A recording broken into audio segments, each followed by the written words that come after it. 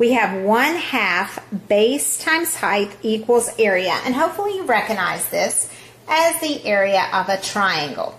We're going to solve for b, or solve for the base. Now the steps to solve for a variable are as follows. First, we're going to underline that variable that we're solving for. So in this case, we're going to underline b, and then we're going to use the reverse of please excuse my dear Aunt Sally.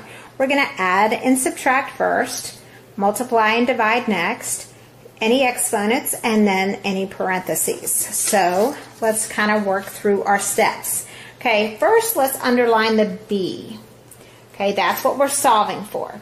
Now notice we have multiplication and multiplication. We have to do undo two multiplications. So that means we're going to have to divide.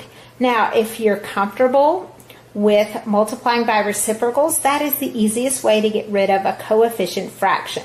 So I'm actually going to multiply both sides by 2 over 1. So I'm just going to multiply by the reciprocal of 1 half, 2, and then I end up with 2 over 2 which these all just cancel out. So if I multiply the left side by 2, I have to multiply the right side by 2 over 1, which is just 2.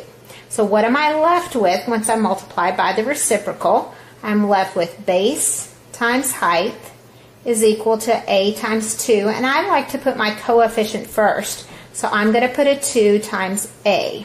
Okay, now we've got to get rid of the h because we're trying to get the b by itself.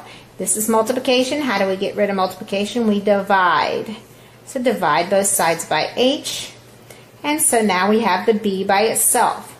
So b is equal to 2a over h. So all I did was bring that down just to clean it up.